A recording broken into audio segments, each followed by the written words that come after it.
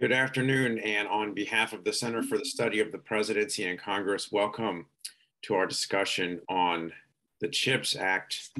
Um, what does it mean and what's next? I'm, I'm very proud um, to be part of this discussion, to, to provide a welcome and kick off a conversation, which I think is extremely well timed and important.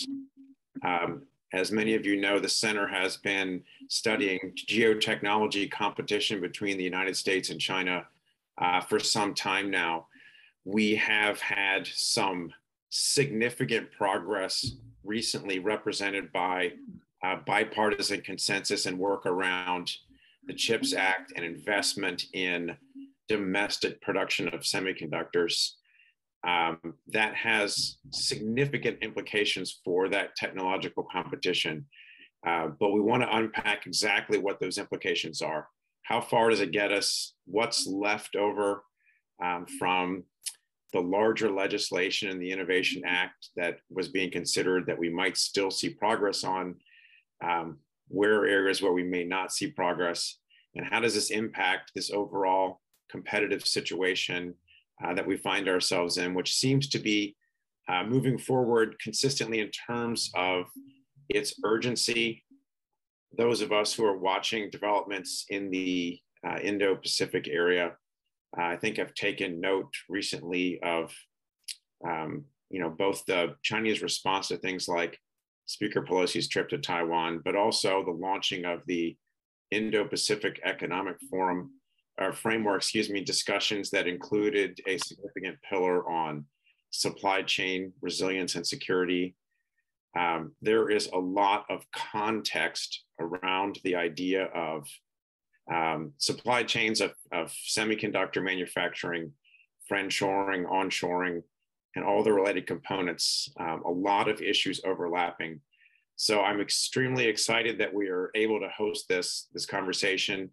I'm glad to be able to hand over momentarily to our Senior Vice President, Dan Mahaffee, to uh, introduce our panelists and then kick off uh, what I think will be a highly substantive discussion that I think may help us further understand how the CHIPS Act impacts these larger questions, what the limits of it might be, um, and, and what do we need to think about in terms of where we go from here.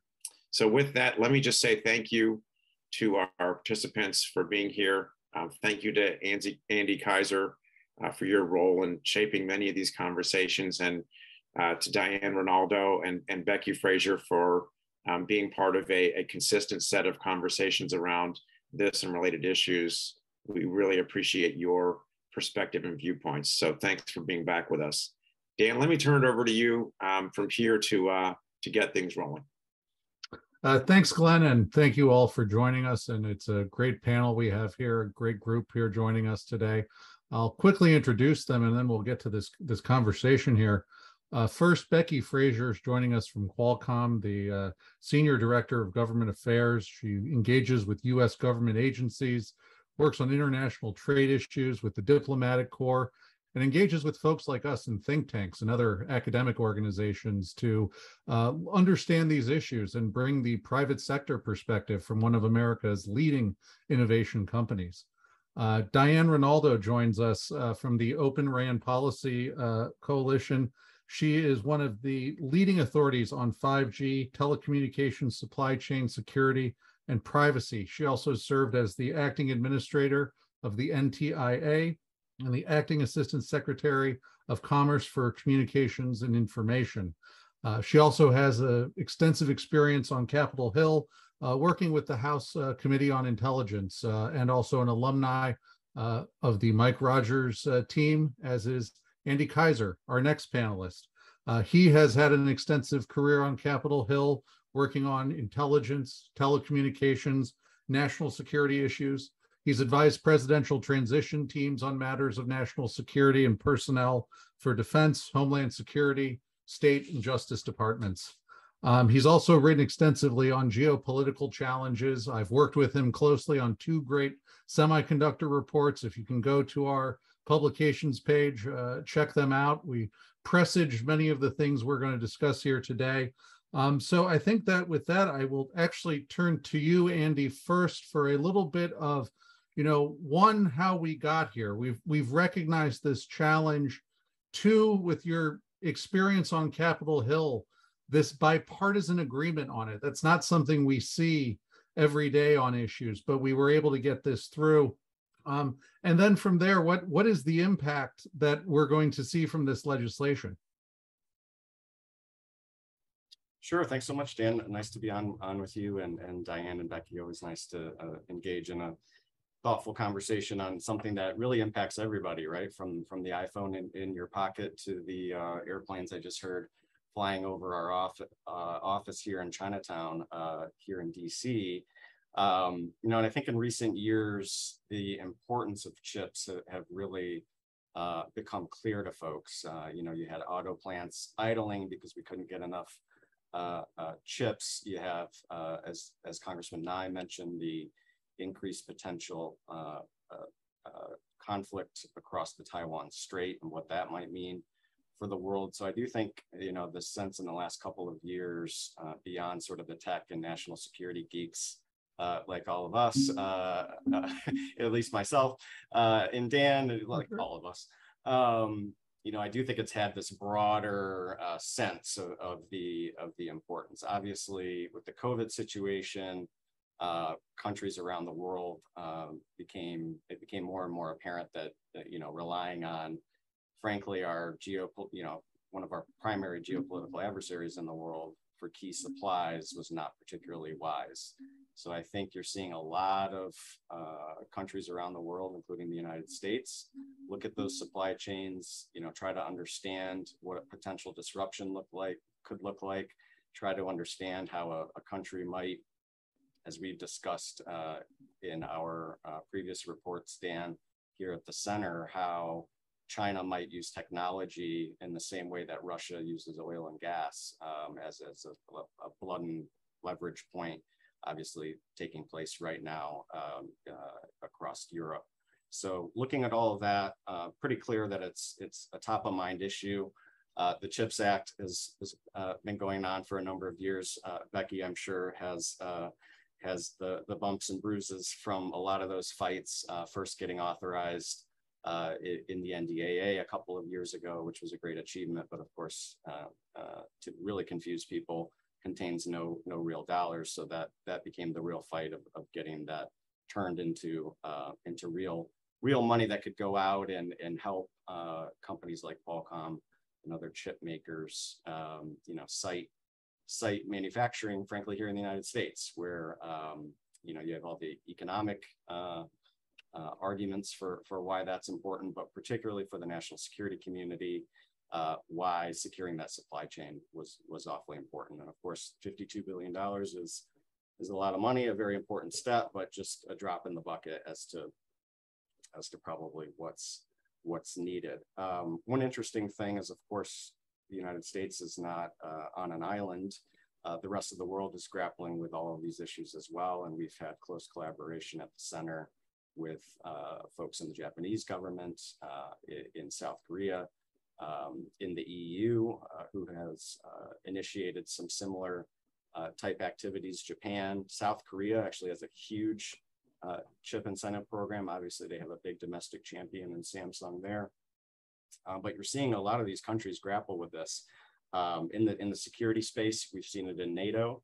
We've seen it uh, in in the Quad, which I think is really important to include our Japanese allies, as they have a, a great deal of expertise uh, in this space and as well as, as in India, not just an important, uh, you know, potential trading partner there, an important geo, geostrategic ally in the Indo-Pacific uh, as, as a potential check on China, um, and as a country that has engaged live fire with the Chinese military along its border uh, in recent years, one that is, is also very concerned about where those where those conversations are going and where you know potential reliance uh, on China might leave them, um, and I think all a great deal of concern. But I guess to to answer the uh, the question that you posed in the name of of the panel, I think we're just getting started. Thank you, Andy. Yes, that's a, a, good point that we are sort of in the initial phases here. We've seen the administration lay out its uh, implementation strategy um, you know, 28 billion of uh, investment in the leading edge manufacturing. We talk a lot about that, of course, the, you know, the cutting edge, the seven, five, uh, really, really tiny stuff that's the cutting edge. But, you know, they also, the administration is emphasizing the mature and current generation chips, the, the 10 billion in, in funding for that, for more of the legacy nodes. And Andy, as you talked, you, you mentioned the importance of those uh, chips we've seen. Are those the ones that we see that are so important for defense, for cars, that even though there's the cutting edge, there's still that important emphasis on the, for lack of a better term, bread and butter chips? I think that's right, and I think you you saw that again with just to use the example of, of the auto industry, where you know a, a a chip that costs you know something like less than a dollar, fifty eight cents or something, um, you know the the fact that they couldn't get those those uh, supplies in in their real time manufacturing process, uh, you could see what kind of an impact that could have uh, just as a critical national security commodity. So you're right, the stuff we that keeps national security policymakers up at night is, is the leading edge uh, uh, chips that are frankly almost exclusively made in Taiwan. Um, and, and so that's clearly an imperative, but the whole, the whole supply chain becomes a critical uh, national security commodity that, that folks are, are worried about from, from top to bottom. Because the truth is an F-35 has those, but it also has uh, lots of basic chips that if it can't get access to those, or if they're compromised in some way, um, that creates a, a real potential mm-hmm. threat. Uh, which we've just seen in the news with the stand down of some F-35s over uh, supply chain concerns. We have, we have, uh, yes, and we've seen also this week uh, what, uh, uh, the FT, the Financial Times in London, reported that some YMTC chips from China um, had had made its way into Huawei gear in likely direct subver- subversion of U.S. sanctions laws. Mm-hmm. So um, it's it's a very delicate supply. These are very small, uh, very small but very important uh, mm-hmm. uh, components to to the global economy. No mm-hmm. question. I think that's a, a, good segue on the issue of the different, uh, you know, different semiconductors and the importance of different types. Um, to to talk to Becky now about the you know how this legislation one addresses those differences we've talked about between advanced uh, and more mature uh, semiconductor technology.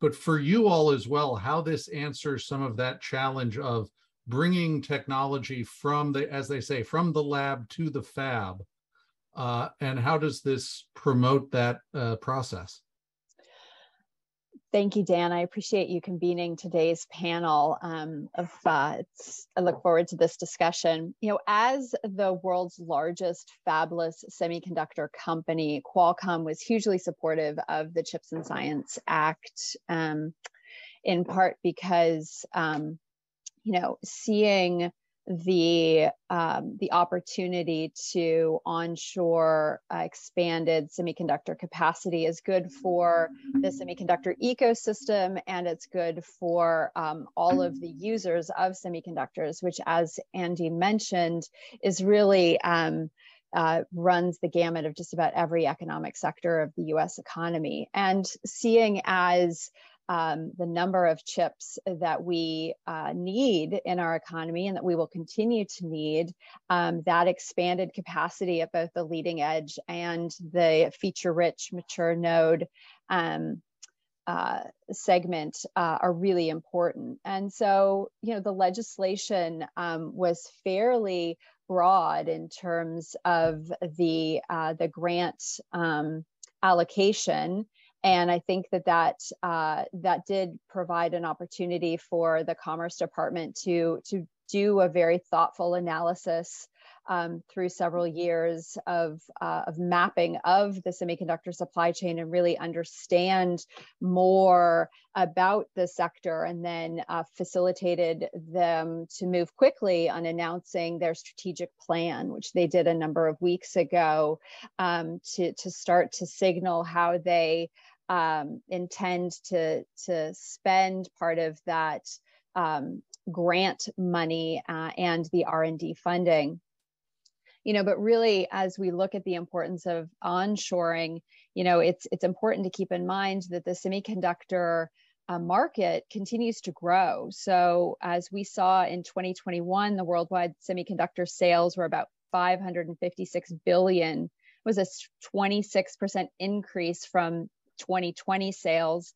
The market's expected to grow another 13% on top of that in 2022 and the market is forecast to continue to grow into 2023. So, as more segments of the economy use semiconductors, we need more capacity across the board at all nodes in order to supply a very wide range of customers. Yes, sort of a uh, all of the above answer in some ways. We, with you see this growth and the importance of this, you you can't pick one over the other, and it looks like the administration has taken some of that leeway to to balance it out more. Um, although I will now move on to one thing where Congress was very specific about their intent was to support the development of new telecommunications technologies, specifically allocating uh, $1.5 billion to Open RAN, software-based, the, the next generation of 5G, and the foundation of what we hope will be 6G technology. Um, so I think that's a perfect segue to, to Diane, because these topics of supply chain security, um, we've been talking about them, you know, all the way since the Huawei report, kind of the uh, before it was cool to be talking about uh, supply chains. Now it's it's everywhere, but we're really maturing and specifically moving ahead on these areas of Open RAN, and something I, I would like to uh, learn more about.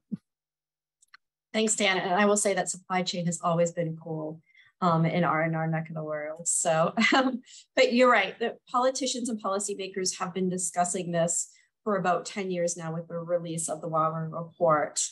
Um, but in the past couple of years, especially as the run up to 5G, they ha- uh, policymakers have started asking the question: if not them, then who? It's not enough to remove players, especially when there's only a handful of um, RAN manufacturers around the world um, how are we going to fill that void?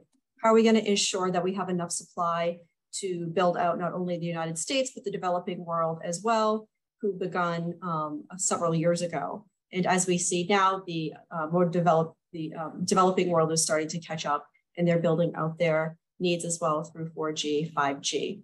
Um, so the idea of Open RAN is to that you disaggregate the RAN. So the radio access network, which sits on the cell phone tower. So can, as you can imagine, it is the most expensive component of building out a network. Every time you have a cell tower, every company has their own piece of equipment on that tower. You have to hire, hire very talented um, individuals to climb up the tower, uh, make sure that the equipment is securely fastened um, and calibrated. It is incredibly time consuming, and this is why it usually takes about a life cycle of 10 years. So with Open RAN, the idea is that you are um, you are disaggregating the RAN. So now that you're breaking it up into more of a Lego system. So software, hardware, radio, it can all be interchangeable. So no longer are you picking one company and going with that product. You can choose which type of software, hardware, radio. Um, so you can build out the network that best suits your needs for any individual uh, area, you know, as you can imagine, right, the needs of New York City are looking a lot different than my hometown of Rumford, Maine, uh, population 5,000. So Open RAN, um, when I was at NTI, it was the first time I heard about the concept of Open RAN, and that was when Rakuten started building out their nationwide network in Japan. And so I would say that when we came together, um, and Becky is also a member, not only is Qualcomm a member, Becky is on the executive committee and uh, on the board so we have been working closely since day one on this. So when we came together, it was originally to be able to articulate to policymakers, including Senator Warner, who introduced the USA Telecom Act, which created two new grant programs on how Open RAN would impact um, the private sector community. You know, what started as originally four companies, at two weeks before we launched, we're at 11. Um, the day we launched, we're at 31 and we have now over 60 global companies. What we quickly realized this was not a problem just the US was having. Um, you know, the developed world all around the country, all around the world, excuse me, are de uh, dealing with the same exact issues as us. And what we've been focusing on in the past year and a half is um, the, the developing world who's looking at their next build and what they're going to use um, in their networks. So again, there are a lot of people looking at the security side of this coin. At the coalition, we look at the economic side and the innovation that's within. That if we are able to break open the RAN, then we can really drive competition at the subcomponent level. Um, and we've already seen an explosion of industries, small business that have stepped up and are innovating in this space. So it's been a, it's been a mm-hmm. great two and a half years to watch this industry transform um, the telecommunications sector. And uh, it, you know, it's there was an article recently released um, on light reading by Del Dell'Oro. Uh, they did a report that said that Open RAN is actually smashing um, expectations on sales over the past year. So it's great to have some uh, confirmation that mm. um, Open RAN is not only um, you know just a policy conversation that carriers are looking to put it in their networks because they view it as the next wave of innovation. Becky, as uh, a member of this coalition and, and one of the key innovators in this, how does this help you on the R&D side, seeing this support not just for specifically Open RAN, but the other elements of this bill that look at R&D and those those future innovations?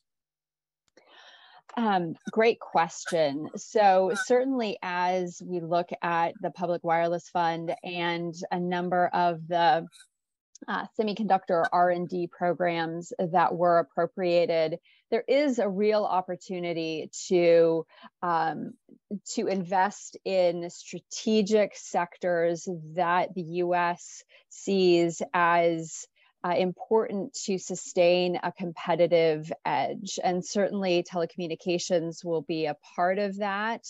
Um, you know, Open RAN into 6G, um, but but also in terms of as we look at the 11 billion um, R&D and the chips segment of the legislation, uh, you know, a number of the new programs that will be set up, the National Semiconductor Technology Center, the Advanced Packaging Institute, um, and some of the other, uh, manu- the USA Manufacturing Institute. These are really important mechanisms to bring public and private sector together to focus on pre-competitive research that can really make a difference in um, in the ultimate competitiveness of the semiconductor ecosystem at a wide range of segments. And uh, just this week, the President's Council of Advisors on Science Tech and Technology, the PCAST, put out their report on revitalizing the US semiconductor ecosystem. And they um, they spent uh, a large portion of that report really looking at the recommendations as to what the National Semiconductor Technology Center and potentially the advanced packaging, that 11 billion in R&D, really where it could move the needle. Um, and I think that this is um, a really in-depth uh, examination of the current state of the U.S. semiconductor R&D investments and where uh, targeted uh, capital flows could could make a difference going forward. So I think that that report is um, is good reading material for everyone who's interested in in how that 11 billion gets mm-hmm. uh, spent. Does it do enough to get the product from R&D scaled to that commercial step we need to see where we can really unlock as we talk so much about the the first mover advantages is there more that can be done or how did this do there so um, you know, I think that as so the short answer is to be determined. Um, the mm-hmm. National Semiconductor Technology Council, the Advanced Packaging Institute, um, and some of the other programs uh, will take shape uh, going forward. So that's in part, there's be an advisory council that is established to help shape some of that, and then a number of conversations with NIST really at the epicenter to to determine uh, how some of these um, funds get allocated. Um, you know, in order to really um, move from you know lab to fab, it it really does take um, a a significant investment in our sector. Um, you know, really, when you look at um, what it takes to get uh, a semiconductor from from computer to uh, to tape out you're you're looking at at a very heavy investment of capital um, and and i do think that that is why you have seen um, a number of companies from across the ecosystem, right? The design, the tools, the materials, and the fabs all coming together to have this conversation around where will targeted dollars really make a difference. Um, and, you know, we are seeing um, some coalescing around, you know, really building out a network. Again, public participation, um, the public sector, private companies, academics, um, really focused on uh, where to make a difference in terms of, you know, potentially next generation chiplet system on a chip, a number of areas as to really potentially that could make a difference. I think, um, you know, we'll see in the coming months. Yeah, I think that's a that's a great point that we're we're seeing the implementation of this now, but we also note too the the other countries moving at the same time. We're not alone in this. Um, and Diane, I'm, I'm going to ask from your experience in the Department of Commerce, this is a big package moving through there. How can we help uh, an agency like Commerce uh, as outside advisors in the think tank community, those working in the private sector? Do you, how can an agency move with a mission like this, uh, a new mission in some ways? Very carefully. Um, just to put it in perspective, the Department of Commerce is an agency with 12 different bureaus. It, bureaus that have pretty much nothing to do with one another. It's kind of a hodgepodge of not sure where, you know, where do you put NOAA? So let's put it in Commerce with NTIA and NIST. Um, so that, that total budget's 10 billion.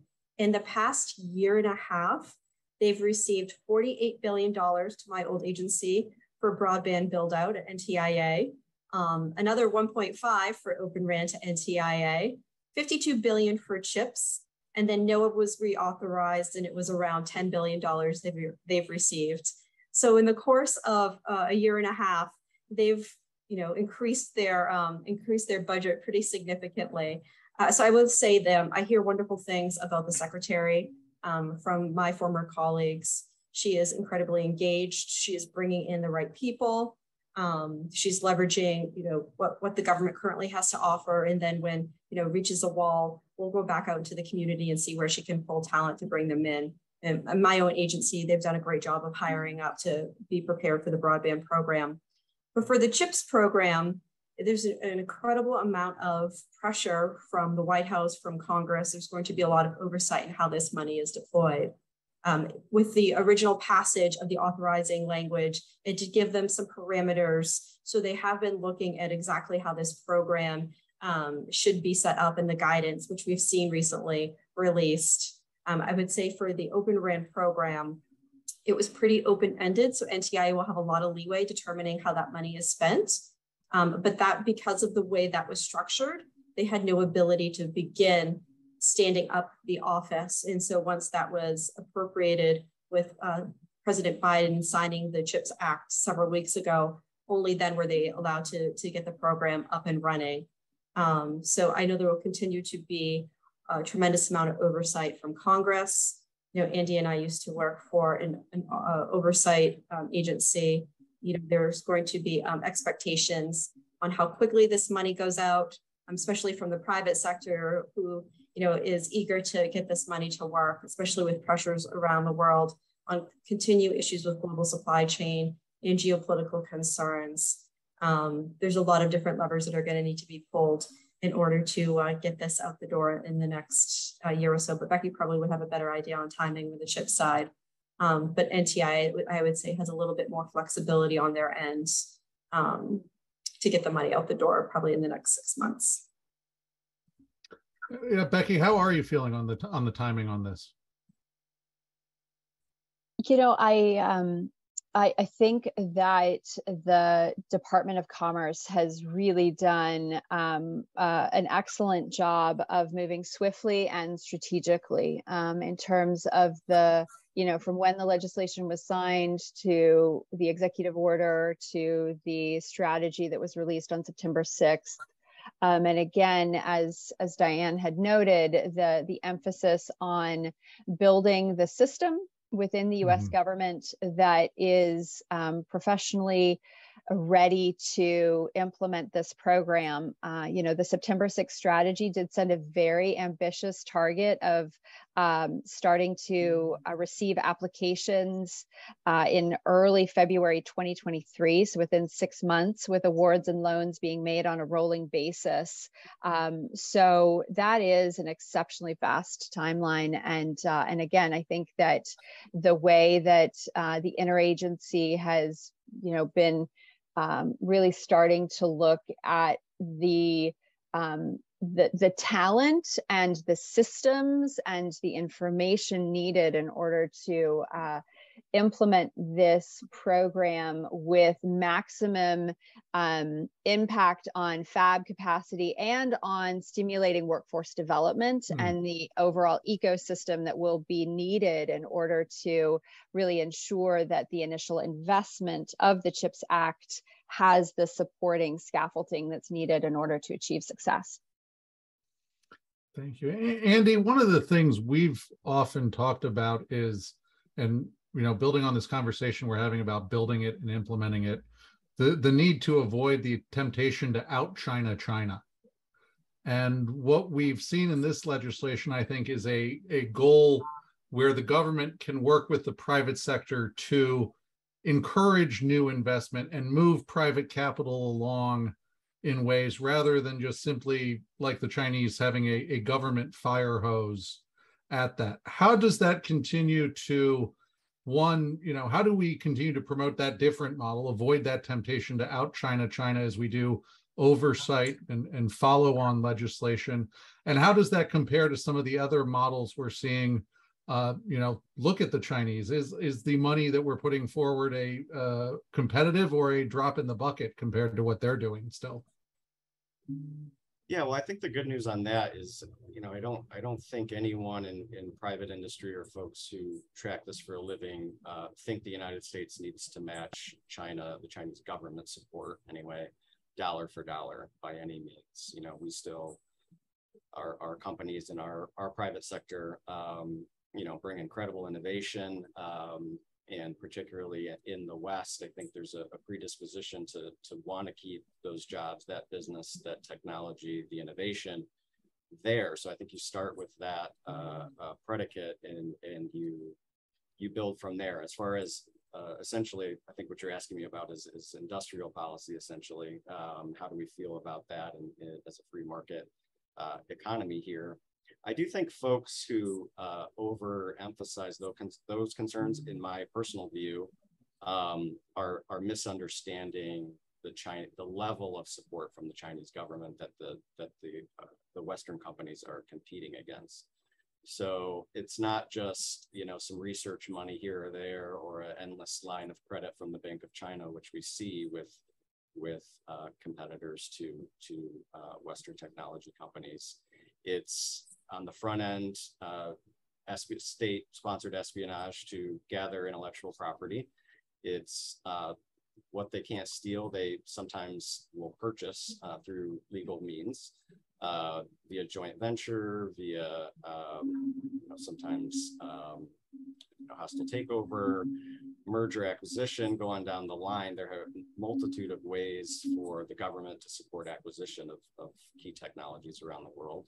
Um, then they bring that technology back. They tend to have a captured market in China with the world's, uh, you know, I think just largest or second largest population in the world. Um, and, and having a captured market there, sometimes let's say 90% of, of uh, domestic business has to go to Chinese uh, domestic companies. So captured market, captured uh, uh, business, tremendous state support, state R&D support, uh, endless lines of credit. I mean, these are things we just don't find in the West. Uh, clearly, some of that is the, the, the, different models in which we operate. But um, surely offering incentives for uh, folks to to reshore, nearshore, ally shore uh, makes a lot of sense to just try to level that competitive playing field so we can win um, in, in a free market open competition where uh, I do think we all have to be enter this competition with our eyes open that one side doesn't have a finger on the scale, maybe a thumb, a fist, a leg. um, and that's that's the level of competition. If you don't see it that way, I think you're missing a really important component.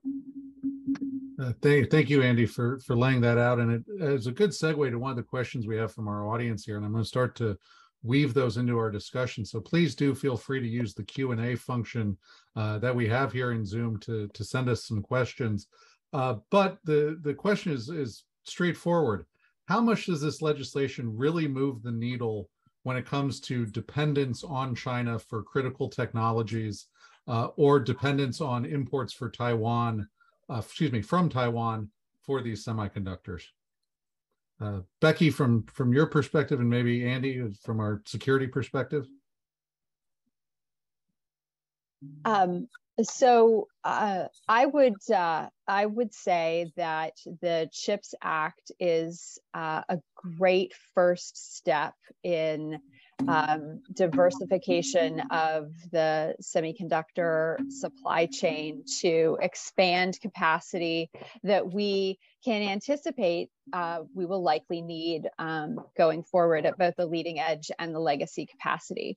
The fact of the matter is that the semiconductor sector is a very capital intense sector and the amount of investment that is needed um, across the semiconductor value chain is um, you know very very few other sectors have that type of uh, capital investment requirement so um, i think that the 52 billion in chips uh, is is a concrete first step at acknowledging the current state of the value chain.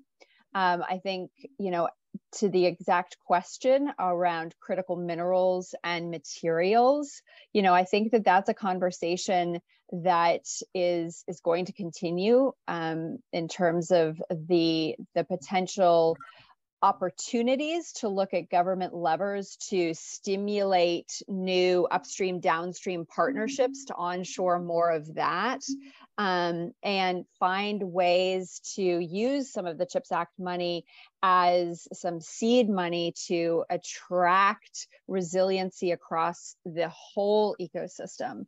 So it's a good first step but um, based on the complexity of the ecosystem for semiconductors, um, you know, there will continue to be a global semiconductor value chain, and that is where the U.S. has um, U.S. companies have succeeded in the past. It's what we want to see is a continued global value chain with a more resilient, stronger U.S. position in that chain. So it's um, it is uh, a a very comprehensive, thoughtful first step. And we look forward to the conversations as to what the implementation looks like and what additional um, next steps, again, to support the success of the CHIPS Act, uh, largely from a workforce um, standpoint and uh, from a uh, design standpoint, in addition to the materials and minerals standpoint and, and the various inputs needed along the way.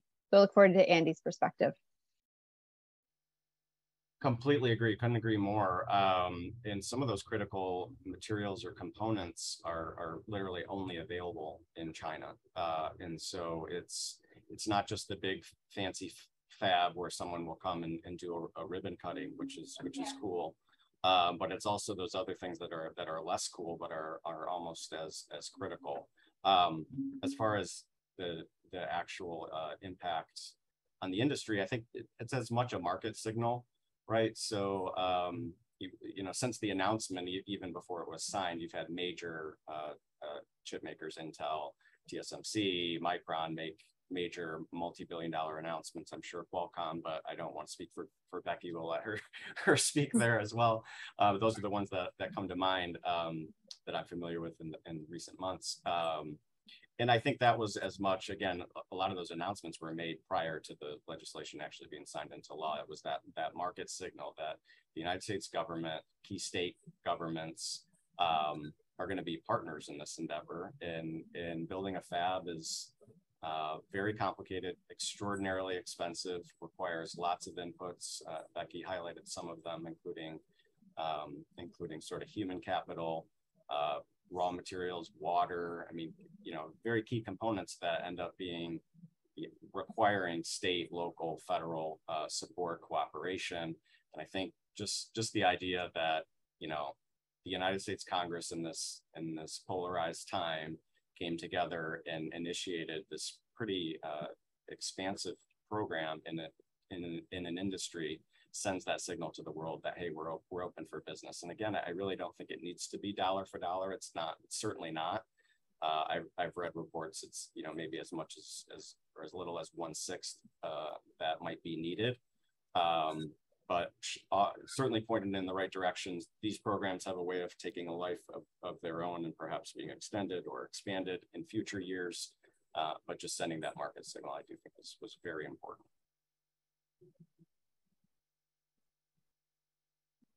Uh, Diane, for the uh, Open RAN field, uh, does this move up that time frame? Are there similar time frames? You've talked about the the sales growth, but is this uh, helping to accelerate as we as we look at this impact? Absolutely. You know, we are obviously a much smaller dollar figure at 1.5 billion. But what we've seen in the telecommunications industry over the past 20 years is there just hasn't been that um, many new entrants because the barrier for entry has been so high. Know, if you were an engineer and you had a great idea for a new radio, you could only go to a handful of RAN manufacturers to sell them on your idea of a radio. You'd have to deal with the 10-year life cycle, right? Would you really put all your eggs in the back basket or would you look at some other industry to help innovate in? Now, when we're breaking down barriers and you can innovate and go directly to a carrier, we're doing private networks, um, it gives you a lot more opportunities. We've seen a lot more growth. So this money is really going to help the smaller businesses that are trying to get set up. They're trying to go to standards bodies, get R&D. And it will also help the larger companies as well as they look to help pivot their business from the current model that we've been um, working in and around for the past 20, 30, 40 years to a more open solutions. So it, it, it will make a difference. Um, and again, it's first steps, it's, um, but it will help impact bringing Open RAN to scale. One of the audience questions I have here, I know we've talked a lot about semiconductors here, but it is from the audience, a question about the inclusion of NASA authorization in this. And I, you know, I don't think into the specifics of this, but, you know, understanding one, that it was a, a piece of, uh, you know, innovation legislation. So it seemed a, a natural positive message, but to those of you with Hill experience, of course, the matters of horse trading and log rolling and, and putting together legislative packages, uh, is there anything else uh, worth noting in that, or that, that we should consider as lessons for for future innovation legislation, or uh, just the unique nature of this Chips and Science Act? Uh, Diane, I'm happy. Yeah, so I would say that it's incredibly hard to get legislation signed into law, and so when something's moving, everybody wants to uh, you know grab a ride on it.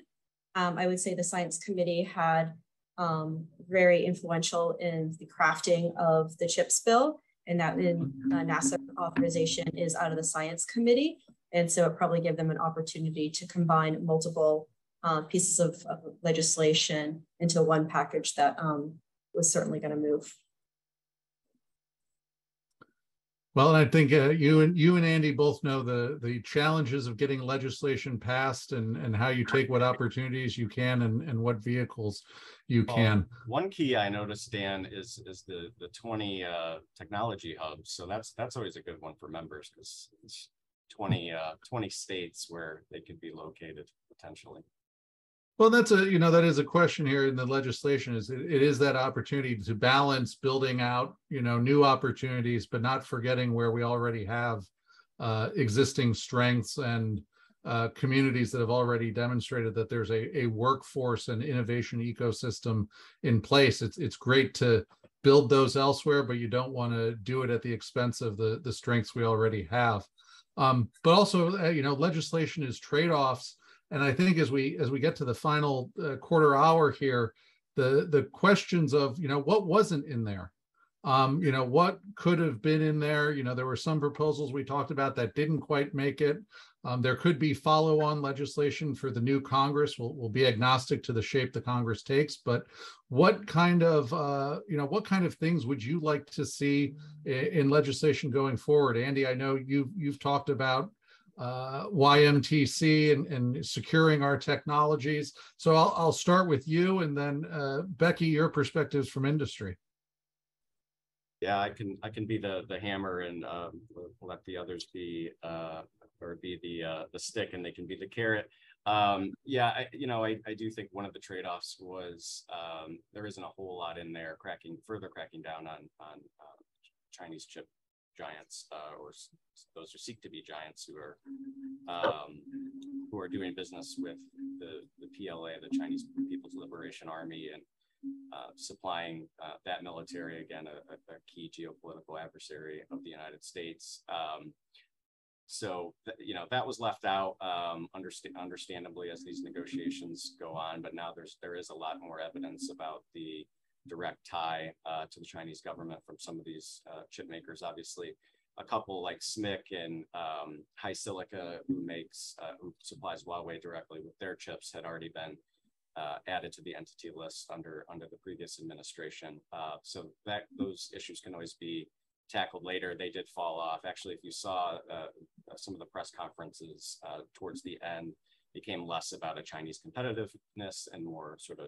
U.S. supporting U.S science and industry, which which is, is completely fine. But as, as more of a national security person, um, would be looking to for those next steps at, at Diane's old shop at uh, at Commerce, uh, which typically falls uh, under the, the Bureau of Industry and Security, where there are things like uh, emerging technology rulemaking pending. Um, obviously, they could consider at any time adding uh, any of those Chinese chip makers to the entity list, including CXMT, um, the idea that memory is, is a critical national security uh, uh, commodity is, is I think, uh, where where folks are, are looking next. Thanks. Becky? And um, as we look at you know a number of the main segments of what was in um, you know it's it's it, it was comprehensive when you look at the grant program the strong r&d investment um, the Open RAN funding, the ITC for manufacturing. Um, what didn't make it in was um, tax incentives for the design segment. So in the semiconductor ecosystem, many of us in the fabless, the R&D, the design portion of the ecosystem make substantial investments to continue the leading edge advances in semiconductors and continuing to drive us to smaller uh, nodes using less energy and more capacity. Um, and this is where the US has a competitive advantage. And um, we as the fabless companies we take our designs and we are the customers to the pure play foundries. Um, so the manufacturers who will be expanding their investment in the united states um, in part uh, their investment decisions will depend on the orders placed by their customers um, which include the fabless um, semiconductor ecosystem of which Qualcomm is, is the largest.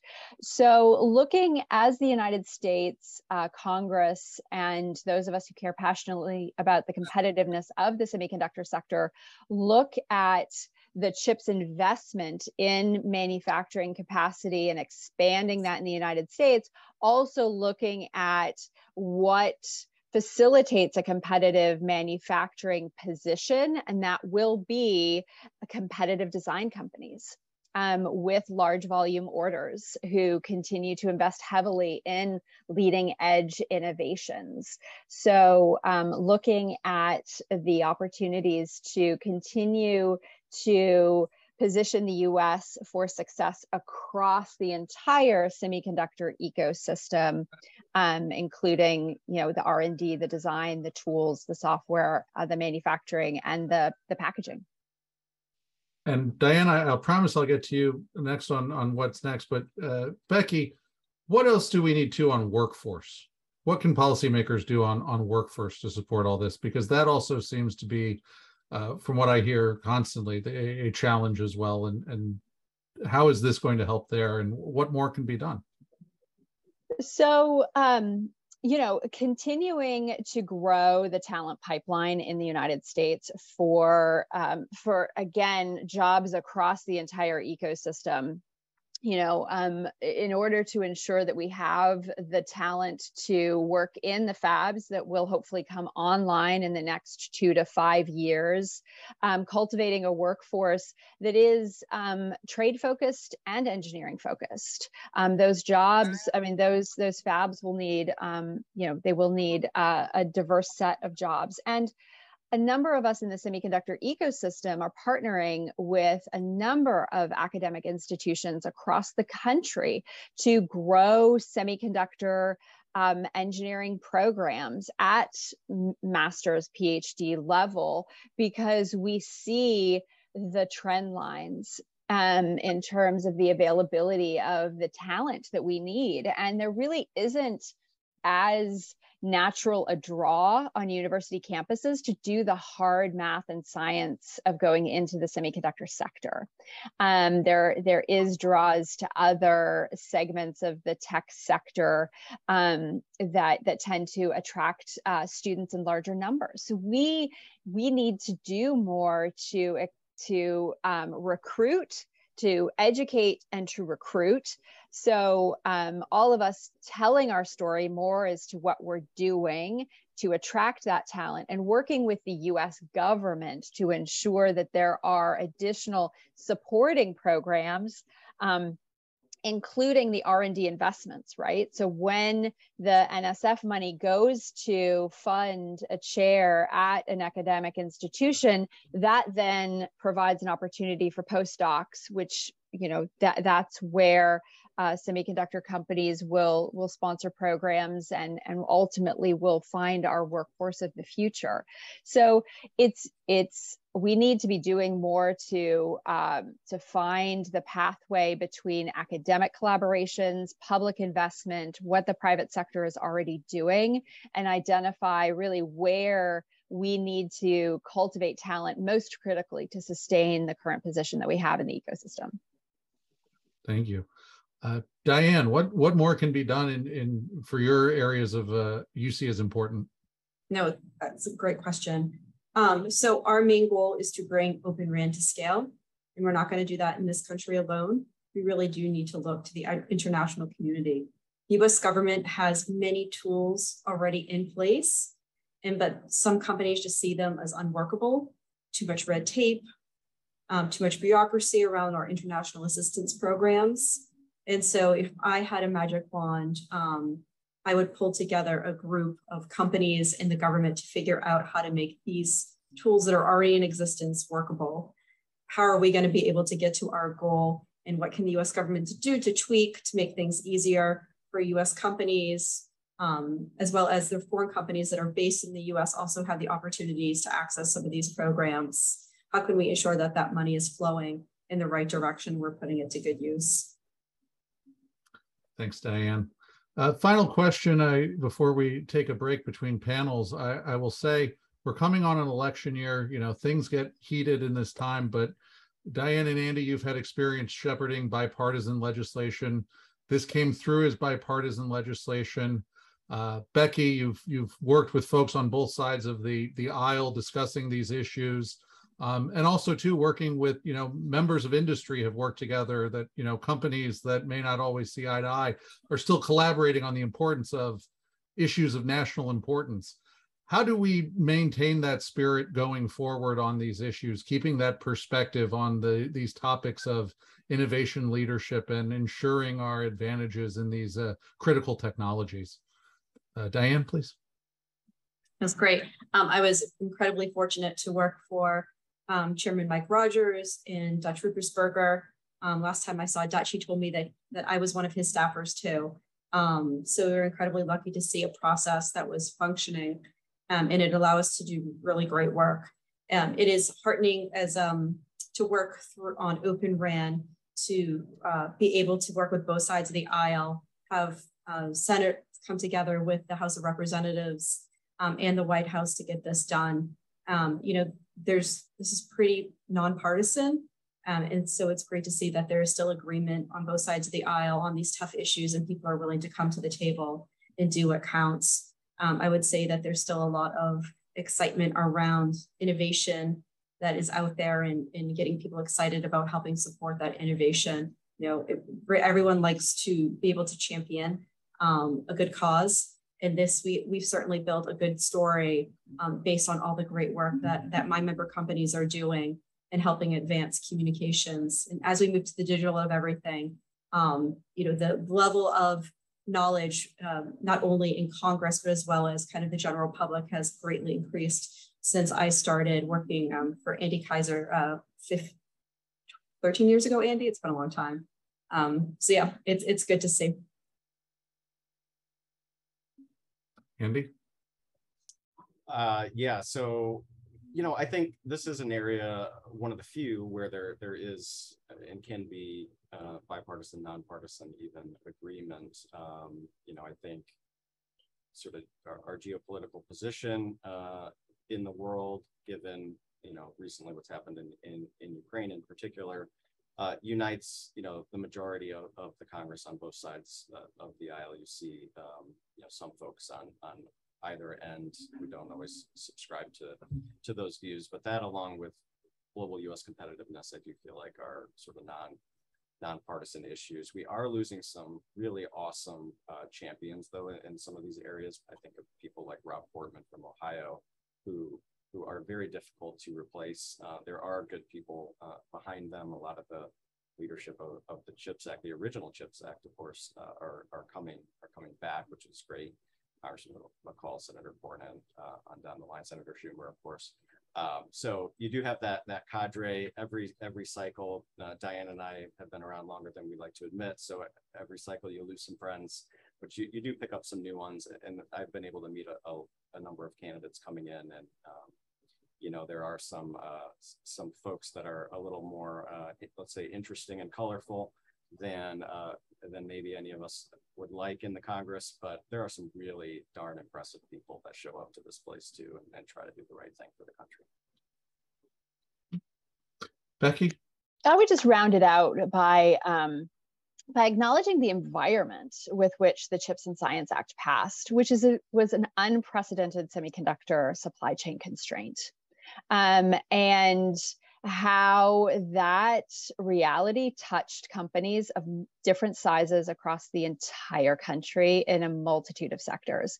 You know, the Semiconductor Industry Association did a letter of support of the legislation um, in the weeks before it passed, and they had over 100 um, major executives signing on in support of this type of legislation from such a wide range of companies, right? So I think um, continuing to acknowledge how semiconductors and Open RAN and some of these emerging technologies will be instrumental to companies of a wide range of sizes. They will be foundational to those companies' success in every state um, and ensuring that we um, successfully move past the supply constraint, but don't lose the lessons that we learned um, in the heat of that black swan moment.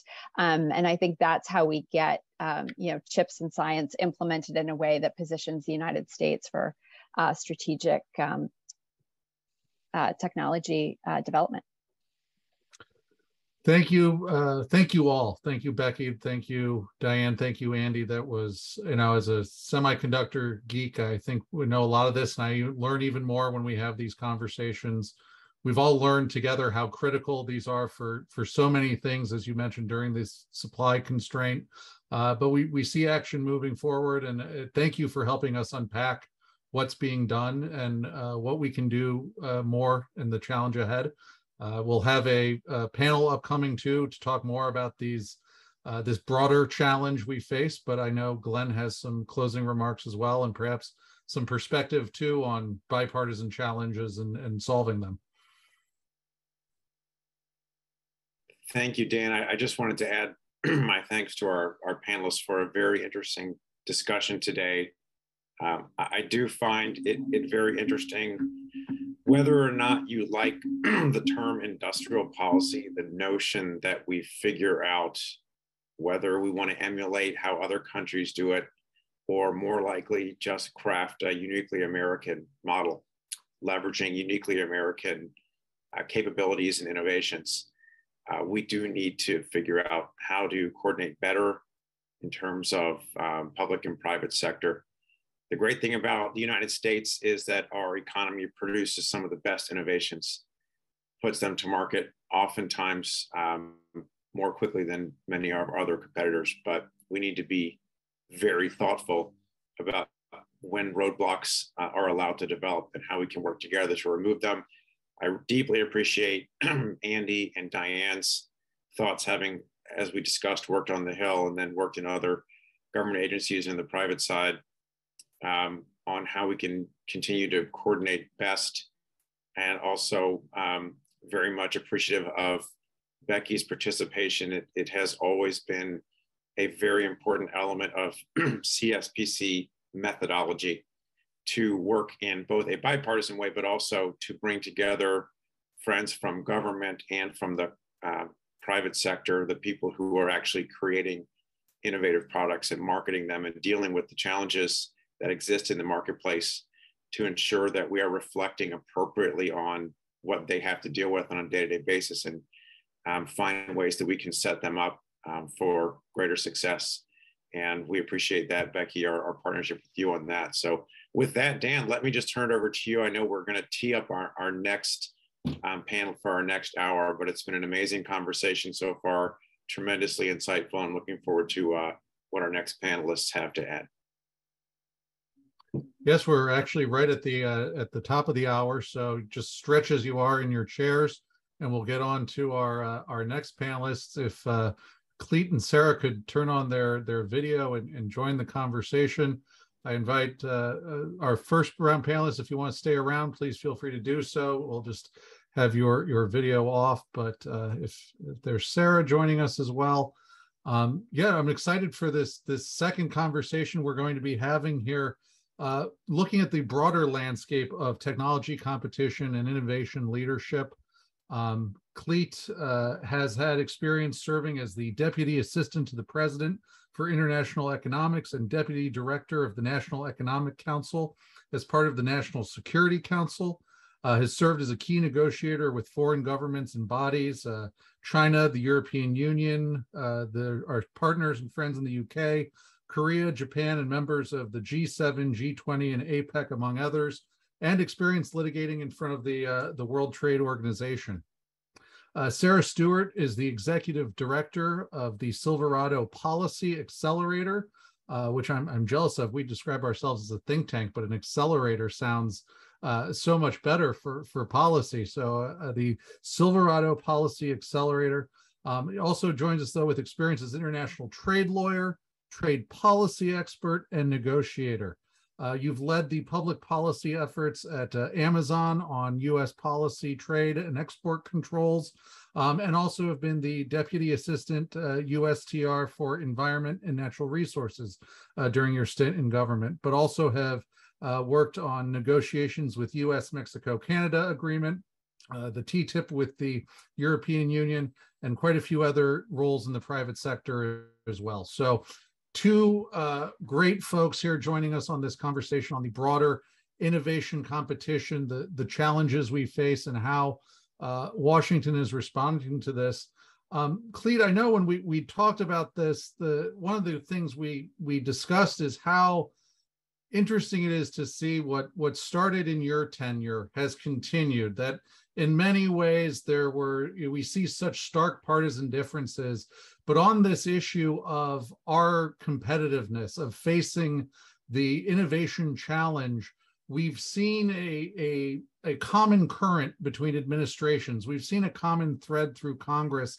And if you could share your experience in, in implementing that and how you see that moving forward from from the outside in ways Sure, and, and thanks for the opportunity to, to participate in this in this great event. I, I appreciate that very much, and look forward to, to talking to everyone today. Um, Dan, I think I think you're absolutely correct here. in that in many respects, when it comes to technology competition and in particular technology competition with China, there is very little daylight between Democrats and Republicans and between the last administration and, and this one. And I think that you know people may articulate the challenge in slightly different ways, but I, and, and there may be nuances in the various policies that they propose and what they emphasize. But I think that there is um, the same underlying goal, which is um, there's a lot of concern about China's industrial policies, uh, about China's trade practices, and how those have affected existing technologies, and really then how are they going to affect um, emerging technology? And, and and there's a feeling that we need to be doing more.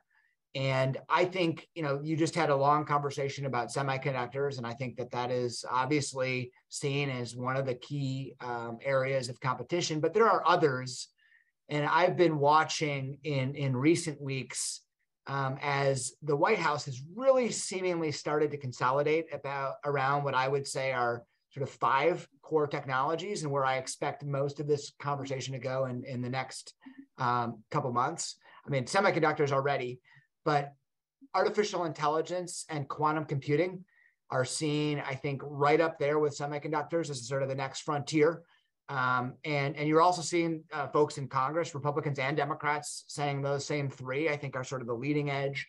And then you're starting to see biotech and clean energy right, right on their heels. And I look at the CFIUS EO that came out last week, it listed those five areas. You look at Jake Sullivan's speech from last week, it listed those five areas. You look at the legislation that Congress passed, it listed those five areas. There were a few more as well. But I mean, those five, I think, are where we really want to watch policymaking um, in the near term. Um, and I'll let Sarah jump in so I don't consume all this. I have other opinions on the good ways and bad ways to do that and, and happy to opine on that. But again, I, I, I agree with your fundamental point that there is consistency they're very focused. I think both the Hill, Republicans, Democrats, the administration on semis, and then I think those other four areas are kind of the next the next tranche. Mm-hmm. Sarah, your thoughts on what you you see in these common threads? Yeah, I mean, I, would love to. Well, first of all, thank you for having me, and I'd I'd love to, you know, uh, play devil's advocate, but I I really do agree with with Clete and in his comments. I guess I would say a, a, couple of additional points. I think that the conversation about industrial policy is really interesting. Um, when we formed Silverado Policy Accelerator less than two years ago, we were thinking about what are the you know pillar areas that we want to coalesce around, and you know we chose one of them to be trade and industrial security um, because you know we could see this you know, um, this conversation on both sides of the aisle about what do we do here? I mean, we've we've done industrial policy in the past. Uh, it's had mixed results. Um, but we see, you know, not just our competitors and our allies engaging in industrial policies, but also our adversaries.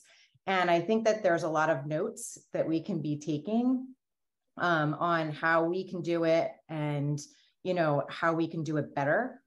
Um, we just heard a great panel discussion on, on semiconductors and, you know, I, I think it's a really good starting point. I think we have to get that right uh, if we want to think about where the future of an industrial policy can go to support you know our efforts in some of these other areas whether it's ai or solar or nuclear or or or, or quantum.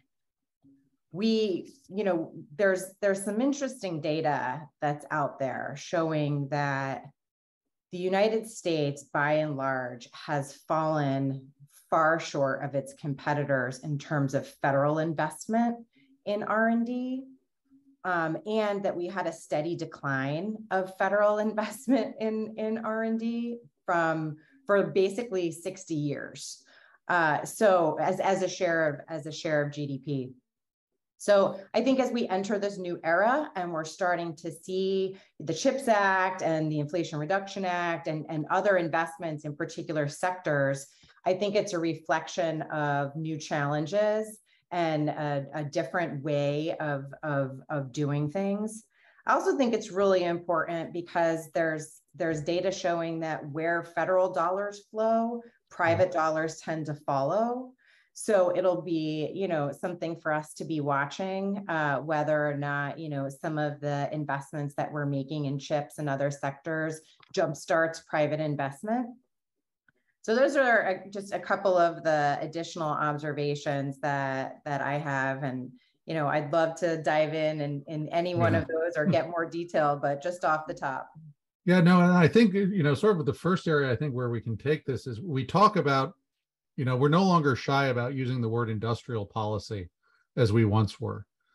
But we're also trying to craft a an American version of it in some ways that we don't want to out China China, nor do we see the uh, you know Lilliputian tying down Gulliver model that the EU seems to favor. How do how do you uh, how do you look at ways to you know how do we build this U.S. model in ways? Some of it is the the tricky art of legislating where we need to put down stuff perhaps on data or or you know build further policies on on chips or these technologies. But how do we how do we craft that to reflect our our values Clete how do you how do you do that in a way that is, is not you know following yeah. those models that we know around the world? Well dan you, you just used one of my favorite phrases which is you know let's not become china to try to beat china. And and i don't mm-hmm. think that's the right way to go and I, I, thought Sarah made some some great introductory remarks. And and one of the things that she said that I want to pick up on was was the focus on R and D. And I mean, I think if you look at the CHIPS legislation, you know, there really are two big pieces of it, right? You have the manufacturing grants, which are important, you know, both for the legacy and for the advanced technologies. That's helpful. That's important. And, and then you have the R and D. And I think the R&D portion of this is largely sort of under discussed and undervalued in this conversation. Because when it comes to sort of manufacturing grants, again, I think they're helpful, but there's probably only so much we can do. And I think we have to be realistic about how much money we're able to throw out there on technology after technology after technology and and and what that's going to do compared to what China is doing or what other of our, our competitors and even allies are doing. Um, and, and I think on R&D, as Sarah said, you really do have the, the, the, potential to catalyze additional investment. And then if some of these things uh, do yield technology breakthroughs, you have a huge benefit. So it's not just trying to add more production in one area, it's really creating a catalyst for a much broader uh, innovation revolution. And so I really do think the R&D part of this is probably a little bit undervalued and, and under discussed. The second point I do want to make, and this is, I think, critical as we are thinking about how to do this in an American way, is I don't think we want to rely on subsidies alone, whether it is R&D or, or grants or whatever. It has to be seen in the broader context of both a broader domestic stat- strategy and an international one. And then the domestic side, um, I think it's really important that in addition to putting money out the door in targeted ways, we're really looking at the broader suite of policies in the United States when it comes to tax policy, when it comes to regulatory policy, and making sure that those are competitive. And I and I don't think we're doing enough of that at the, at the current moment. And so I'd like to see that to complement um, the subsidies because that all is part of industrial policy. How do we make our industry more competitive? And then when it comes to international, I, I do think there's there's really two components that I would highlight. The one that gets a lot of attention right now in the press we're talking about outbound investment screening and export controls. And look, that stuff is important when it comes to national security sensitive technologies. But I think it needs to be done first, firstly, in a targeted way where we are not um, restricting the export of products uh, that don't raise those concerns because we have to recognize that when we're selling those products to China, that is funding our innovation at home. So we can put the Chinese consumer and the Chinese business in the position of subsidizing American innovation. And so we want to be targeted with those. We want to do it with allies because if we do it alone, um, it's probably not going to be effective, and and it's just going to cost us market share to our to our competitors. So I think again, being smart and targeted on the restrictions. And the last point I'll make is just if we are going to start to get into the policy of restricting what our companies can do in China, we need to be giving them opportunities to replace uh, that's those sales with other markets. And where I will be a little bit critical of this administration, where I think they aren't pushing enough uh, on, is opening markets for US companies through real trade agreements. Mm. And so, especially if their position, and this is what you hear from Jake Sullivan, if their position is in certain areas, you're going to do less business in China, we need other markets to make up for that. And I haven't seen that. So, my point here is industrial policy is all well and good. And, and, and the subsidies are all well and good, but it has to be bar, part of a bigger picture if it's ultimately going to be successful for America. Mm. And I, I, want to put a pin and a point on that trade because I, I have some questions about, you know, in, Indo-Pacific Economic Forum, what we're seeing there, and some of the questions on the trade side of, as the the Scholl chair put it at CSIS, where's the beef, uh, as he he said on on some of the trade side. But but Sarah, too, the the thought on, on your thoughts on what we're discussing in this, uh, you know, the new realizations of of how this American policy is being crafted. Yeah, I mean, I, I like I said, I think that we can take some notes on what our our allies and our adversaries have done here. Um, you know, having a a policy of industrial subsidies that is you know going after uh, undercutting others in the global market in unfair ways i wouldn't i wouldn't take that as a note that i want to follow. Um, but adopting a holistic strategy as as Clete noted where you're not just looking at how are how is the government going to be you know investing in new manufacturing capacity but how is the government going to also be supporting the talent that we need to support that new capacity how is the government going to help incentivize other um, elements of supply chains whether we're talking about chips or otherwise to be more diversified and resilient. Um, and you know, to the point of of of of the protection side of this, look, if we're going to be spending billions of dollars of taxpayer dollars, um, we've got to be also smart about how we protect those dollars. So we need a holistic strategy at home, but we need a holistic strategy externally. And, you know, Clete mentioned a few of the things. I, I really do believe that, you know, there is targeted outbound investment, export controls, and potentially even tariffs as necessary that are going to help us protect the dollars that we are, you know, trying to inject. There's nothing worse that we could see than five years from now, headlines that say, we wasted $52 billion.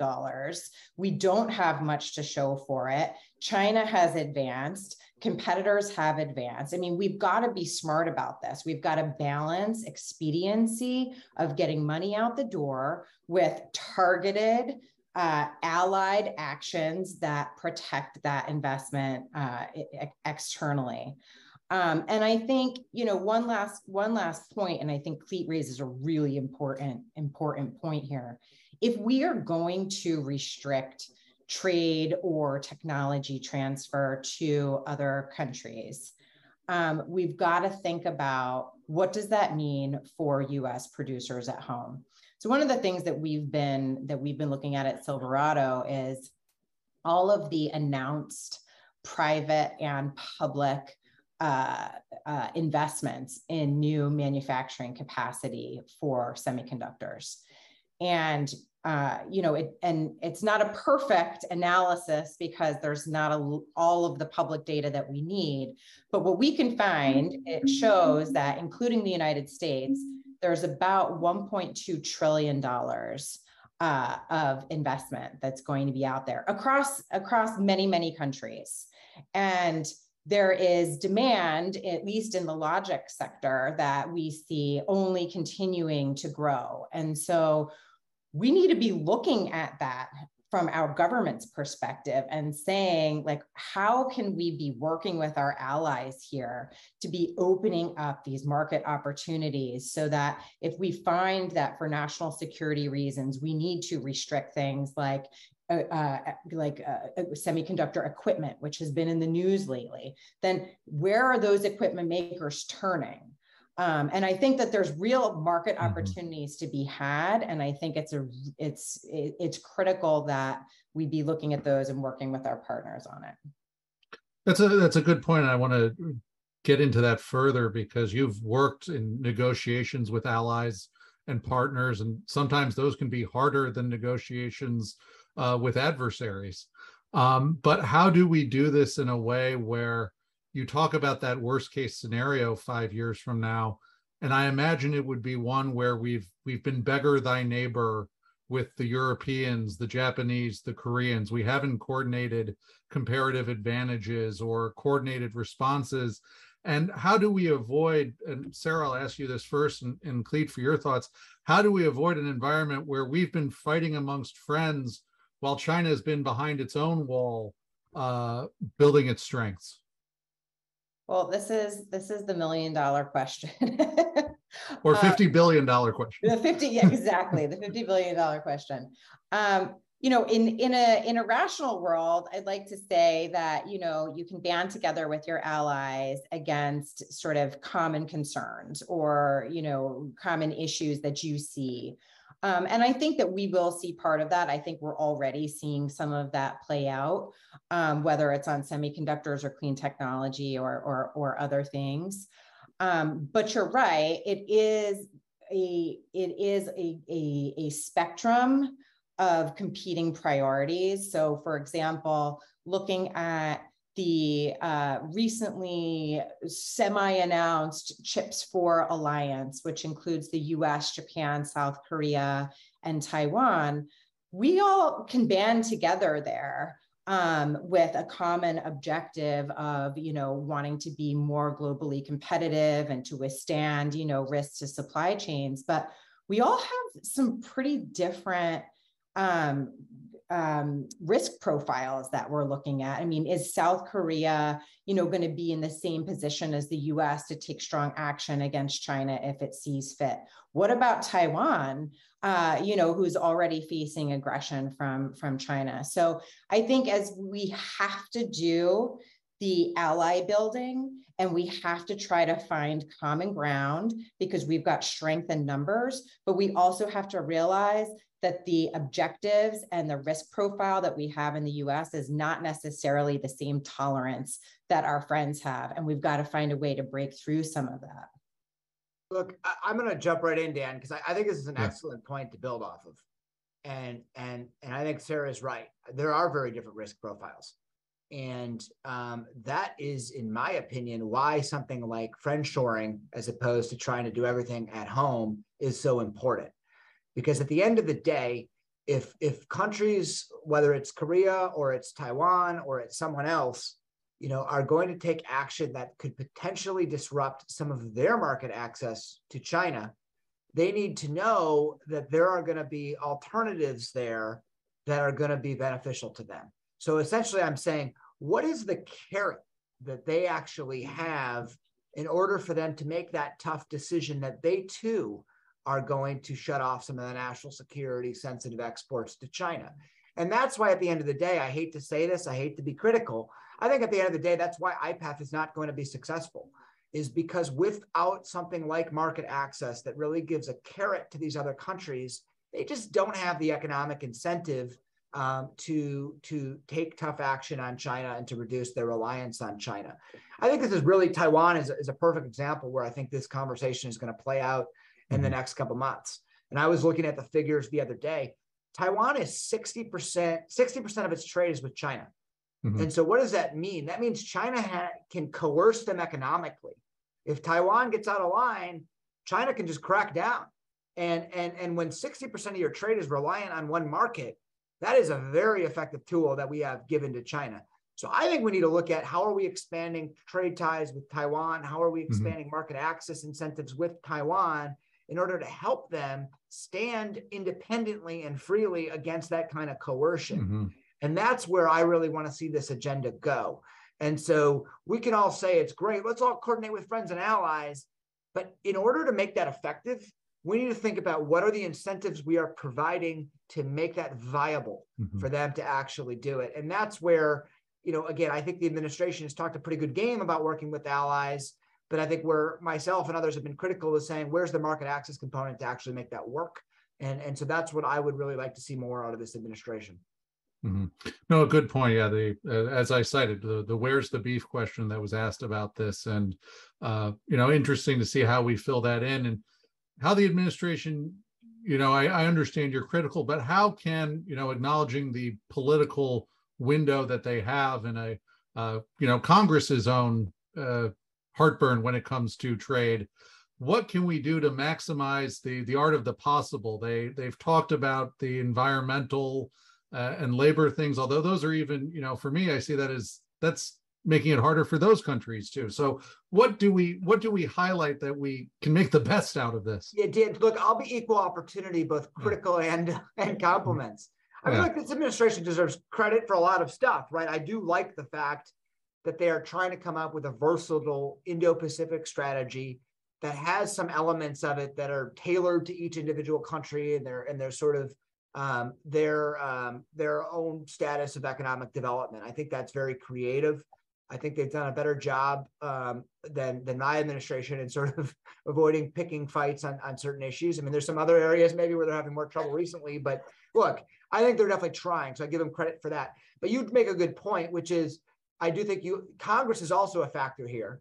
And there is some skepticism in Congress about trade agreements from the left and the right. Um, you do definitely have a growing, sort of more populist, nationalistic streak within the Republican Party that we need to deal with. Um, but look, I think it's doable. And, and I go back to remember this agreement called NAFTA that was super controversial and all of our jobs were going away to Mexico and like uh, you know, you know what we did? We said, okay, there are some issues that need to be addressed. We renegotiated it, and it was an agreement that passed with some of the strongest bipartisan support that we have seen ever for a trade agreement. And to me, that's the model. And that's the rubric that I would like to see applied to the Indo Pacific and to this other agreement that you might remember called TPP. Mhm. Um, totally legitimate to say TPP is flawed. It would have, in some ways, been against our economic interests. But the answer is not to say, let's ignore it and let China write the rules of the road in the Indo Pacific and let China lower its tariffs with everyone in the Indo Pacific. We need to get in the game. And so, what I would love to see is for this administration and this US Congress to basically do to TPP what we did to NAFTA, which is fix it, make it better, and make it viable for the United States. And I, I think that can, there is a model there, and I would love to see that applied to a lot of other countries as well. Um, last point I'll make is I, I- do think folks should be watching right now what is a very interesting phenomena, which is that there is growing interest right now in the US Congress in, in, in a Taiwan trade agreement. I think there's potential for a Kenya trade agreement. I'd like to think that's not where it stops. Um, but but but but I do think we are at a moment in time where we haven't had an offensive trade agenda for two years, and maybe we are starting to get to an inflection point where people see that value. And I and I, I really hope so because I think we can do it in a way that satisfies the demands of the right and the left. Well, it also seems to be a recurring issue that pulls the public very different from the politicians and their base. When you look at the generally widespread support we see for trade and trade deals uh, among the public, once we see the see the benefits of them. Um, you know, that said, too, though, how do we, um, you know, look at, as you said, China writing the rules? How do we write some of our own rules? One of the things that has, you know, been cited is that the U.S. doesn't have a a data privacy rule? What are, you know, in the absence of a US example, what can we do to, uh, you know, promote some of these areas, you know, beyond just the ties we have with these countries of shared values? I think there's, there's other ways we need to be more uh, direct in what we, we say on those. Do you agree? I don't know if that's for me or for Sarah. Oh, sorry for you, Cle, you know, where we, you know, we're not, you know, I was not. gonna let her. No, I'm just Yeah. kidding. Um, so I think you're right, right? And I think not having a unified domestic policy does make it more challenging for us to, to push forward. Mhm. Um, maybe on, on the other hand, you could say it gives us more flexibility to explore different ideas internationally. But I'll, I'll make one point that probably isn't going to be helpful to anyone, but I think it's true, which is we need to figure out what we're doing domestically, right? I think I think USMCA is a rare example where the two parties came together. The Mhm. CHIPS Act is a rare example where more or less the two parties came together. We're not doing that enough. And, and we need to get our own house in order and figure out how not to politicize everything and actually get things done. The right and the left all think we need to do more on privacy, but mm-hmm. we just haven't had the political climate to have those conversations, to have regular order uh, lawmaking. And I, I don't know that I have a suggestion other yeah. than to say it's a problem. And if we're going to beat China, to put it bluntly, we need to get our own house in order too. Uh, so Sarah, over to you. Yeah, yeah. What? yeah. well, I, I actually, I, I want to build off of this, but I want to take it in, in a direction that, you know, is, is near and dear to me, which is on the environment side of the house. Um, not that data privacy isn't, uh, isn't top of mind, but um, one of the things that we've been spending a lot of time on is, you know, looking at uh, how the U.S. is faring uh, on a global on a global sort of trade basis, um, but also a competitiveness basis when it comes to emissions. And we've got some of the cleanest manufacturing in the world here in the United States, and we're importing about uh, 30% uh, of our carbon emissions come from imports. Mm. Uh, and so we've got to be thinking about that, but we don't have a domestic uh, carbon price. And, you know, we have yet been able, unable to find any convergence on a bipartisan basis about what do we do about all of this. So, you know, one of the areas that I think we're going to see a lot more discussion on is do we use a carbon border adjustment to try to level the playing field? Um, and, you know, is that something that domestic companies are going to face as well? Or are we just going to look at the import side? So I think that could be an interesting, um, you know, trade issue to, to watch. Part and parcel of that is, you know, in, in, in spending a lot of time looking at, at climate issues and semiconductor issues, one of the other things that became evident to us very early on is there are some serious import dependencies that we have on the critical minerals, gases, chemicals, other things that are needed. Um, if mm-hmm. we're going to be serious about, you know, making sure that we have all of this new chips manufacturing capacity at home, if we take steps to cut off China or to, you know, increase our export controls, there's a real chance that they retaliate by cutting us off from things that we need mm-hmm. for semiconductors, but also for clean technologies.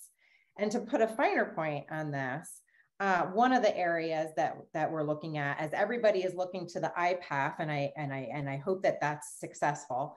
But one of the one of the areas that we're looking at is in our own backyard, uh, Latin America. We mm. have a very resource rich set of countries that we already have free trade agreements with uh, that already share our values um, and have a lot to offer to us when we're talking about clean technology transition and, and other things. And yet we have China encroaching day by day uh, into, you know, buying up the mines and the mineral rights and then extracting the cobalt and mm-hmm. nickel and lithium that we could be, you know, we could be sort of having more virtuous relationship with these countries with. They're extracting it and exporting it back to China. Mm-hmm. so right, um, right. Yeah, you know, all of these things are interconnected. And, you know, this is all to say we need a domestic and, and, international strategy that looks at all of this, that looks at the trade, the investment, the federal investment at home, the protections of all of that, and how all of these things connect. Because you know, doing a piecemeal approach uh, is is not going to end up being successful for us. And you mentioned the environment. You raised that, and that it's a you talked about the critical supply chains, and, and for minerals, we talk about with batteries, and we saw some of that in the uh, Inflation Reduction Act, specifically looking at critical minerals. It was, but a, a topic that was raised uh, with past administration with the Quad beginning to work on coordinating these these critical supply chains. So, one, how do how do we do that with others? And and since you raised the environment, uh, Sarah, do you agree with this concern that the Huawei model is being applied to green energy tech by China? The the underselling, the undercutting of solar, of wind, of that infrastructure, that the, the same playbook they used with telecom, we're seeing with green tech, and we need to recognize that faster. Do you agree with that concern? I 1000% do. Um, one of the things that that we that we've looked at is we looked at uh, a grouping of the you know most uh, foundational clean energy technologies and environmental technologies. And china is a net exporter of those technologies and it is not consuming those technologies. So what does that tell us? It tells us that they are not taking on the commitments to using and deploying those technologies in their own country to cut emissions, but they are committed to gaining as much market share as they can in the international market um, with these technologies. And, you know, we've seen it with solar and, and others, and lots of times undercutting, uh, you know, prices that you would see coming out of the you know same same products for us or eu mm-hmm. produced uh, technology so i do think it's i do think it's a real issue and and so for addressing that you know we look at the the ways we can use trade tools but also so much of this seems to be a competition for the marketplace in the global south we talked you mentioned latin america uh, Clete, you talked about a U.S. Kenya trade deal as a as a potential jumping off point for more. But how do we continue to reorient our thinking away from just access to the China market as the end all and be all and more competing for growth in those markets and and understanding their demand for leapfrog technologies, not necessarily what what we want to apply. Yeah. Well, look, let me just say, first of all, I mean, I don't, I don't think anyone, or well, at least I'm not advocating. I hope Sarah's not advocating. You know that we're going to give up on the on the on the China market. I mean, I, I still mm-hmm. think the China market provides valuable growth opportunities for our, our, our companies. Perhaps we have to approach it in, in in more of a sort of managed way where you know we're not selling everything there, but we are continuing to sell things um, that are more commoditized in nature, don't raise national security concerns, because again at the end of the day that is innovation money for our companies and, and it's good for us. Um, but i think a theme and, and sarah got at this in her comments as well and i think we come back to this notion of diversification of markets you know friend shoring and working more with with allies and partners. I mean that clearly needs to be to be part of the strategy. And i do think we need to take a, a long hard look at both trade agreements with these regions so you know i, I mentioned kenya I think in in Latin America, you know, I think taking a hard look at Brazil is worthwhile. I mean, there was some momentum in that direction during the Trump administration. I'd like to to revisit that. I also think we need to think about our development finance tools and using them in a more strategic way. That was some of the impetus behind the Build Act, which you know modernized OPIC and created DFC. Um, I'm a little concerned that um, we haven't been really implementing that in the way that we had hoped um, either sort of, you know, we haven't really sourced huge deals in strategic ways with other allies and partners in strategic locations. And, and I'd like to see that uh, as a much bigger part of our um, sort of geostrategic arsenal uh, than it has been to date. And then let me just comment uh, on one thing Sarah said that I think is interesting. It, it, not to take our conversation back, but I but I, but I think it's important to focus for a moment on the sort of the whole carbon border adjustment mechanism. And, and I think that this is something that has more traction in the Republican Party than you might imagine. You've started to hmm. see comments here and there about it. Um, and I do think some people are attracted to it as a competitiveness tool. I think I think it needs to be designed in a way that it's both a competitiveness and a climate tool. And really, to the extent it's a competitiveness tool, it's really just about leveling the playing field and making sure that we don't enter into trade wars with other countries because we all do our own version of carbon border adjustment mechanism. But I really would like to see the negotiations and the conversations on that advance faster um, so we can get out ahead of that one because I because I think I think it's the right thing to do. I'm a little concerned though that if we don't coordinate it well and, and, and do it in a constructive way, you know, it could yield a trade war. And the one really challenging piece, I think we have to have a real conversation about this, is what is the domestic price? And uh, mm-hmm. I know that's tough uh, for some, and, and some are worried that then that gets applied in a way domestically that's going to hurt our competitiveness. But I don't think you can do it without that, at least not in a sort of a WTO credible way. And so I, I think we need to just have that conversation and see where it leads us. Sarah, what do you think that conversation would go? Do you think there is a a, a an opportunity perhaps there that we can if we do emphasize the environment and and green policy as an area of geostrategic competitiveness rather than just uh, uh, green policy that there is an opportunity? I, I absolutely do. Um, it's an area that we're working on um, really closely. Totally agree with with Clete. It's kind of amazing to see, um, you know, who's been supportive on this on both sides of the aisle. Um, definitely critical that we get it right. Uh, from Silverado perspective, uh, you know, we've we've looked really closely at the carbon advantage that the U.S. has in a lot of manufacturing sectors, and I think our view is that both politically and because it's the right thing to do, that you know we would focus a, if if if this comes to pass, it would focus on imports and not adding extra burden uh, to domestic producers. I think you can, a price is one way to go for sure. I think you can develop a set of national averages for different sectors that could work as well in terms of carbon intensity and performance standard. But a lot of that is technical in the weeds stuff that our policymakers haven't quite wrapped their heads around yet. I think there's a lot of conceptual convergence that you know, we are by and large, you know, following stricter environmental standards. And inherently, that means that we have higher costs of production because of that.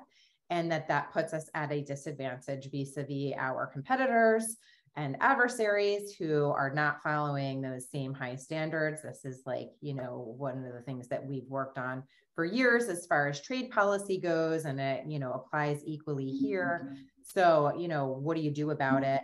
Um, because it is complicated mm-hmm. and you don't want to, to, to, to, um, you know, to add burden uh, mm-hmm. to to domestic producers, but you want to incentivize the decarbonization and you want to hit the highest emitters.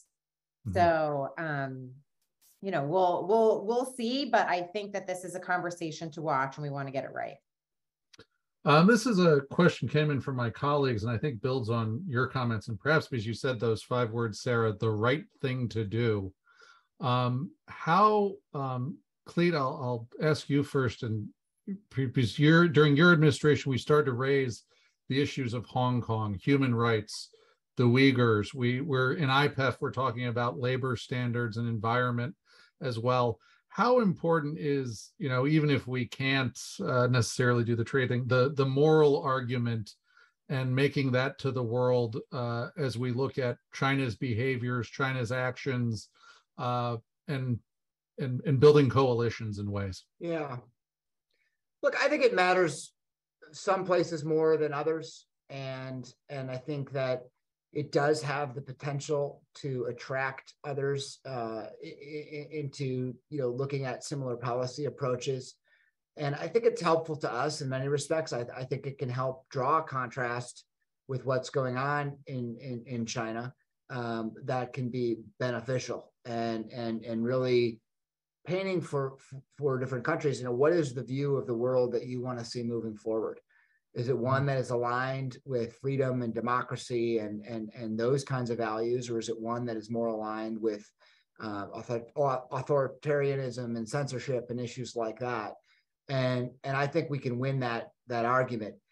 I will say though that on the nuances of it and and in specific policy areas um, you know we need to make sure that we're keeping our own house in order to be credible and, and I worry about some of the actions we've sort of taken as of, of late, right? I mean, we make a big deal about China needing to play by the rules and not discriminate against other countries. And, you know, and oftentimes we find ourselves sort of falling in that trap ourselves. And so I, I think it's important that that we find a way um, you know, look, I, I, think the argument resonates, but we need to be credible, you know, and and mm-hmm. and and in the way that we proceed. And the one I've just been on my mind recently, and it's a little bit different than authoritarianism and free speech, et cetera, mm-hmm. but is sort of the when you're looking at the issue of you know lecturing others on the importance of not discriminating and following the rules. I look at like the electric vehicle tax credit as just a total sort of own goal. You know, I mean, just it, it, we didn't need to design it that way um, it was you know kind of done behind closed doors and foisted upon the administration and they may not love it either but it's just those kinds of things just don't help. You know when we we tell countries like korea and the eu we need to work together to reduce reliance on chinese supply chains and then we just just have a discriminatory standard that's only north america. It just it just it just undermines ourselves. And so i think those moralistic arguments um, of both human rights and authoritarianism and playing by the rules I think all of them matter and they can be persuasive, but we need to stop from from you know undermining ourselves as well. Um, another question from a colleague, and I also invite our, our audience to uh, to submit to the Q and A as well. Uh, any questions that they might have.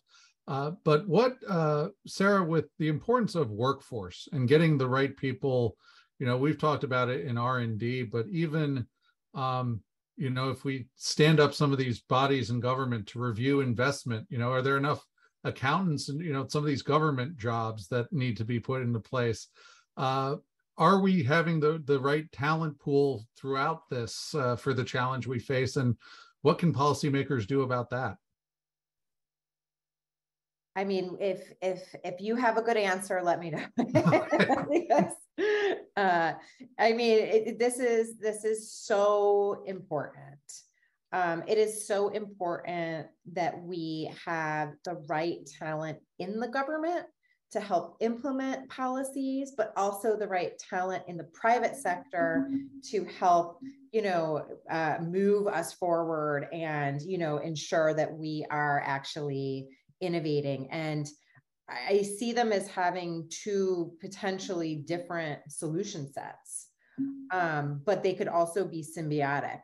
Um, you know, there's there's a lot of talent that we have in the private sector, and having worked in the government and then moving from the government directly to the private sector, um, I can tell you that one of the biggest draws is is salary.